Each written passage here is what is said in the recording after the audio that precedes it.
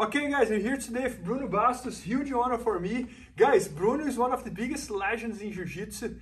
And uh, I, I, like him a lot because he's a huge fan of guard as well. Exactly. And he's a two times world champion in the Masters Division with gi and five times world champion no gi in the Masters Division.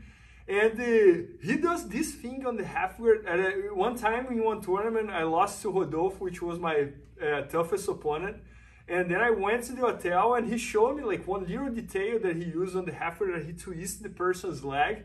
That was amazing and I never forgot. And that's what you're gonna show us here today, right, bro? Exactly, Bernardo. So first of all, thank you for being here with you. With you. Uh, thank you for the opportunity. Thank you. Huge honor for me. all right. So hope you guys enjoy the technique. Yep. Uh, so a lot of times on a half guard, guys, the knee gonna be inside all right, the half guard. But I need his knee to come outside of the half guard. And they're gonna be the, the biggest detail here, right? So instead of like, we start on, with the underhook. So my outside leg, my outside leg, I'm gonna start push on his hip, all right? And then like his knee gonna start coming out. Look, look how I'm pushing, pushing, pushing, and came out. So now my heel, my heel is controlling his ankle. All right, so Behal can try to kick his ankle out. Look, I'm not even crossing my leg. All right, so if you go back there, boom, so I have the underhook. Look how my knee turns on the hip and start pushing out, pushing out. When I feel the knee passing my leg, I switch. That's why they call the leg switch. On that situation here now, I can bump on my shoulder, grab the pants, and now I can roll over Bom, to be the sweep, come on top in a good position. So if you do a different angle now,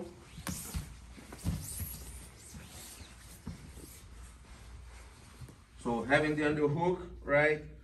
Turning my knee, look, turning my knee on the hip, you start push, when I feel the knee passing, I switch the leg. And that's the control, all right? So I'm gonna come up on my shoulder, grab the pants. So that grip here can be on the belt, can be on the hip as well. So now I'm just gonna roll over all the way. Look, when I come up, very good position because I can choose for which side I'm passing. I have full control for his leg shoe. I never lose that control. I can pass for that side, that side, or even shut down the leg to go to the mount straight. All right, so uh, that's one of my favorite techniques. I feel that fit for all levels, uh, and I hope you guys enjoy. Yeah, guys, a few things here. So one, uh, I think Bruno, I think this is an amazing technique because anybody can do it, right? You don't exactly. need to be flexible, you don't need to be explosive. And when you were doing, just one more time, please. Mm -hmm. so it's great to see like how when I'm here, I have a really strong base. Also start shifting my leg forward Yes. I start feeling like completely vulnerable, right? Mm-hmm. Because like when my knee start pushing the hip, that turns your hip to the outside. That's why you're losing balance. Also, like if your head passes your knee, you like you you're leaning. If my head passes, oh, that makes yes, sense. Yeah. because now you have a base. Yeah, so right. My, my head is in the same line. Now leaning forward a little bit. Look, look, you you bo- you, bo- you base yourself. So you kind of force my head to go forward, my upper body to go forward, while my leg is still stuck at some. Exactly. So I'm playing your balance. Yep. So I can be able to roll you over, and then like even though like for example we both like big guys, but we roll over like without feel the weight of the person. Got it. And like and you have fought a lot of big guys in your career. Yep. Me yep. as well. Sometimes 300 plus. Yep. yep. And there's no problem, right?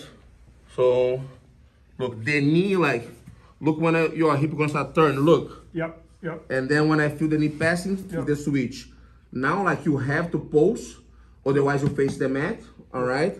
And I can just, like, grab the pants, look, little bump, to then, and then boom, yeah, roll yeah. over all no, the way. And I love it how you finish the position, such a great position. Yeah, like well, here, like my favorite is like shut down the leg and go straight to the mouth. To mouth, yes. That's awesome.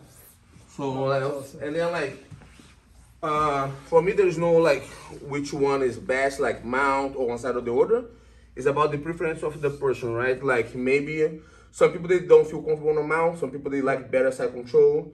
Like I can go to the other side because I have the underhook. I can force you to turn to take the back. So Oh, Bruno, you were one of the first guys ever to play half guard on a super heavy, ultra heavy division, right? You, you, Your generation is even before my generation. yes, And I remember watching you competing, like even like on the ADCC trials and playing half guard. yes. And half guard was not something for the heavier guys in the past. right? So No, how did you develop that? Who?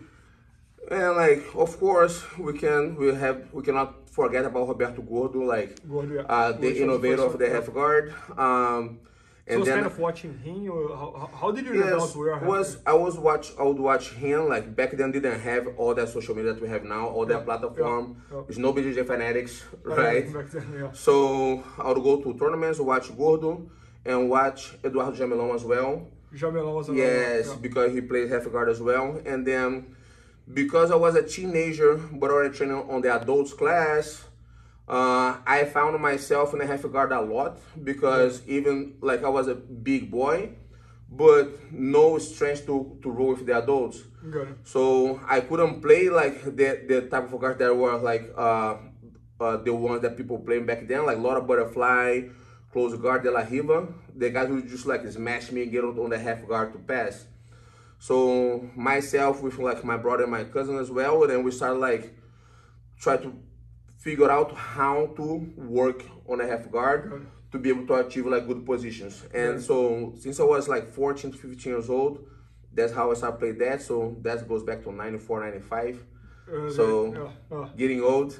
Uh, but it's something that like that's how I started finding myself playing a lot of half guard, and then and then became my my A game in competition like four years. Got you it. know. Yeah, and it's still right. I still see you pulling and Yes, yeah. Like every time, every time that I have opportunity, uh, I do I do that because I feel like the safe place, Yeah. right, where I can understand every reaction possible, and then based on reaction, plan my attacks. Good. Yeah, and guys, Bruno just shot an entire structure all about half guard for BJJFanatics.com. You pretty much put everything you have, right? Like a deep half guard, dogfight, and the Everything like from Shield. shield, two on one, underhook, underhook with the knee out, deep half, uh, what I call reverse, reverse deep half as well, like counters for back step, long step. So I think has to be missioned as well uh, from bottom, like including like knee bars uh, situation. yeah. So I think people gonna enjoy a lot. No, that's awesome. Yeah, guys. So if you're the halfway player, or even if you are not a halfway player, I think that's the great guy to start because he does that in a very simple way that everybody can do it. And it's gonna be at bjjfanatics.com. Maybe by the time you're watching, it's already there. So make sure to check that out. Thank you, Bruno. Thank you, Bernardo. Us. Thank you. Please help me out to grow my YouTube channel. Just click subscribe. And to watch more videos, just click under see more videos. I hope you enjoyed. BJJFanatics.com. Use the promo code YouTubeFaria to get 10% off any instructional video. Improve your jiu-jitsu faster.